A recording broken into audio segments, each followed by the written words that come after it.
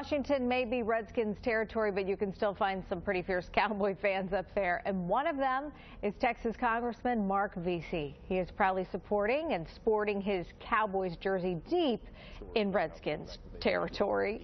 Veasey's district includes AT&T Stadium in Arlington. He says he lets his fellow lawmakers and even the Redskin-loving Capitol Police know where his loyalty lays. Big Cowboy fan, and I let everybody in Washington know. Uh, they don't always like it, uh, but I always let them know that uh, Cowboys are America's team and that they can come and join us. Well, Veasey says he does have a little advice for the Cowboys. Go out there and play hard and play with heart tonight is what he said. He says tonight's game means more than any game of the year simply because it is the Redskins. And our Cowboy